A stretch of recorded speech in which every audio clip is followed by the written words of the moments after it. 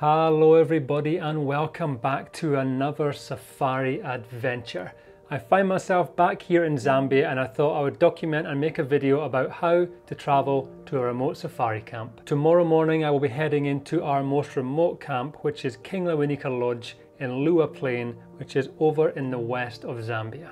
There are only a couple of flights per week to get you into that part of Zambia so I've been overnighting here in Lusaka but tomorrow our journey will begin. So I'm going to show you guys what it's like behind the scenes when you travel to these remote parts of the world. First of all, I think it's time to get some rest before a pretty early start tomorrow morning.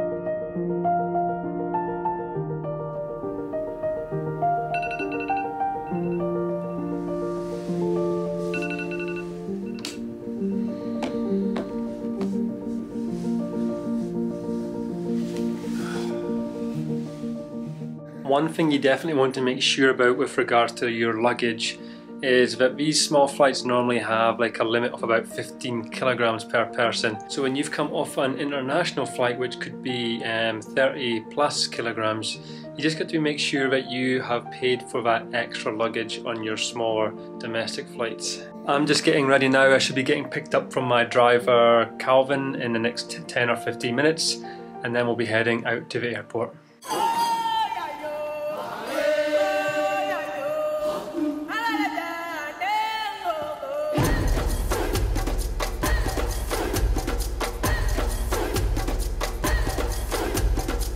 So they have this brand new big shiny airport, um, which is what I arrived in two days ago. But what I didn't realise is that they're still using the old airport for domestic flights. So we are heading back into the old airport now and we'll see if we can check in yet. It's going to be very, very quiet in here. Very quiet indeed.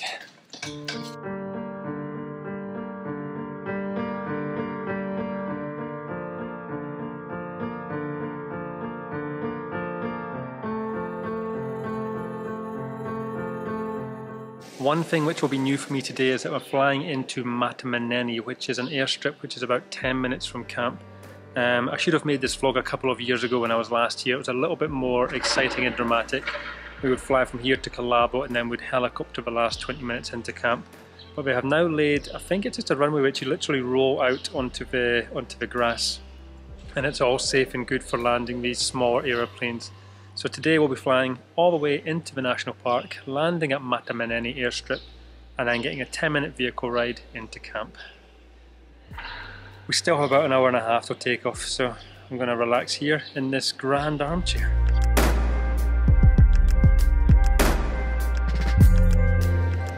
So coming from a guy who's experienced in travelling through Zambia, uh, making this video, I've just looked at my flight time and my flight time is at 9.30 this morning and not 8.30 this morning so I could have been in my bed for at least another hour this morning.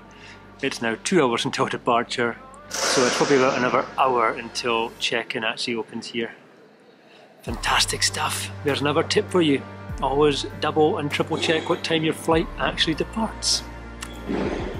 Still, at least there's loads to do in this airport. It's actually not too bad because uh, on two occasions in the past I have had nine hour layovers in this airport.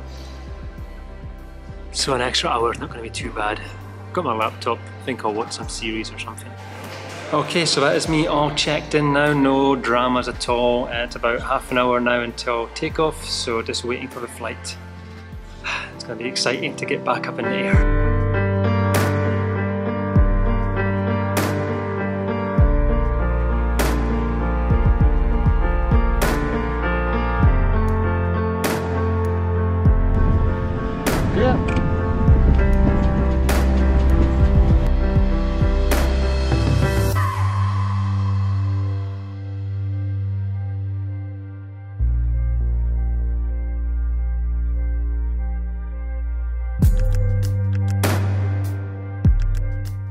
Well, as we head towards Liuwa Plain, let me just give you a few facts about the national park itself.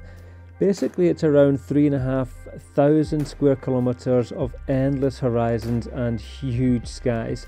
And during the rainy season, this area becomes a vast open floodplain. And time and tide, King Lewanika Lodge is the only lodge in the area, which pretty much means we have this whole wilderness playground to ourselves.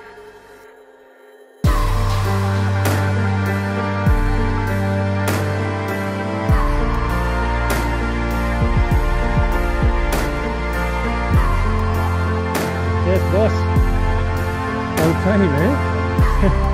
well, we meet again, eh? You're still here. Yeah.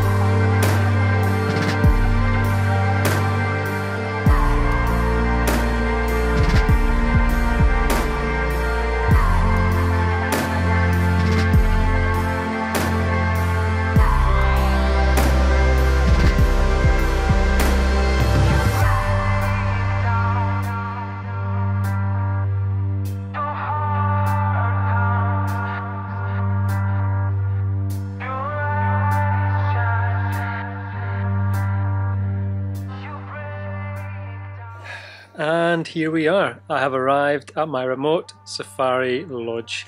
Uh, that was just a quick video to show you guys some behind the scenes on what it's like to travel to these remote locations. Uh, I'm sure I'll be coming up very soon. I'm going to be here for the next three weeks, so I'll be bringing you lots of small short vlogs um, throughout my stay, depending on amazing sightings we have and any other ideas that I come up with. I'm going to go and grab some lunch now, grab a quick little siesta, and then we're going to head out for afternoon game drive.